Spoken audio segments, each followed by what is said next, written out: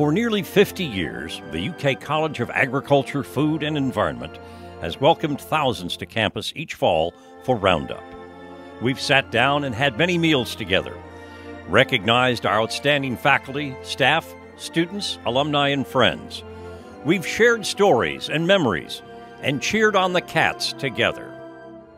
While we can't host this giant family reunion in person this year, we are thinking about you and wishing you were celebrating with us this week. We're still together in spirit as we resolve to fight against the COVID 19 pandemic. We wish you safety and good health. We look forward to the time when we can all be together again.